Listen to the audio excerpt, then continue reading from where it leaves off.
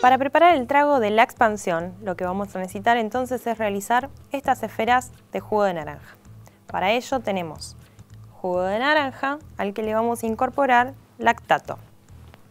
Una vez incorporado el lactato, vamos a mixear.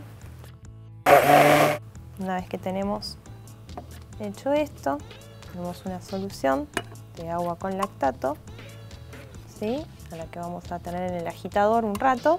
Vamos a incorporarle el alginato con el jugo y hacemos gotear para formar las esferas. Pasamos a colarla y entonces así las agregamos. Trago de la expansión es el daiquiri modificado molecularmente. Para ello vamos a entonces a completar un tubo con una base de pulpa de frutilla